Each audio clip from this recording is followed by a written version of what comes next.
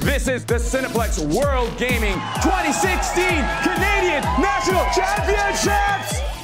We all battled through the regional qualifiers, and there's 32 of us left. I'm the only gamer from Winnipeg, and I'm here to represent. I'm pretty confident I'm going to win the 20K. Here I am, undefeated in World Gaming. I hope it stays that way. This is the finals. This is it. How are you guys doing out there? These games are one-on-one, ladies and gentlemen, so they can go any way. Wow, what a takedown. Ali's like a man possessed. Look at him go. Oh, yeah. Oh my god! Can we get that guy tested for something? That was not human. I got knocked out the first round. It was a close game, but he ended up taking it. Gaming on the big screen is absolutely phenomenal. Such an amazing feeling. It gets you going. You can't choke. You can't miss any shots.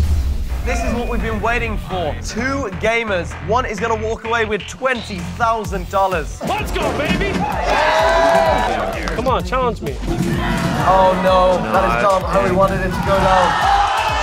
Three, two, one! Give it up for your winner, Edward Ali! Come on, let me hear Bob! Pretty amped. I can't believe I just won the Canadian Championship. It's probably one of the craziest experiences in my gaming career, and I was just happy to be a part of it. Ali, Ali, Ali.